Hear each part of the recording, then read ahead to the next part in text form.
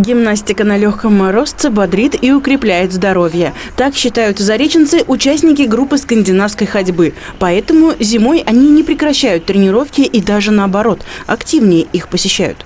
Настолько уже организм у девчонок опробирован к любым температурным режимам, поэтому нам все равно, какая температура. Ну, естественно, зимой свои особенности, бодрящая морозная погода, вот как сегодня, но зато эффективность от этих занятий повышается. Ну что, более энергично работаем, только всего и соответствующая одежда, прежде всего обувь. Можно ли сказать, что зимой приходится на тренировки больше народу? Вы знаете, чуть-чуть больше, потому что летом дачный период людей отвлекает от занятий. Вот, а зимой, вот видите, сами народу очень много. Зимние занятия в оздоровительной группе практически не отличаются от летних. Тренировка скандинавов начинается с разминки, затем дыхательные упражнения. Замечательным настроением. Утром встаешь, вставать не хочется, идти не хочется. А потом сюда придешь, расслабишься, позанимаешься и домой летишь на крыльях.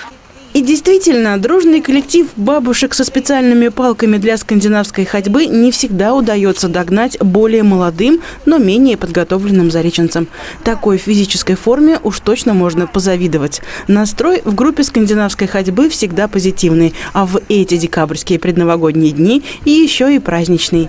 С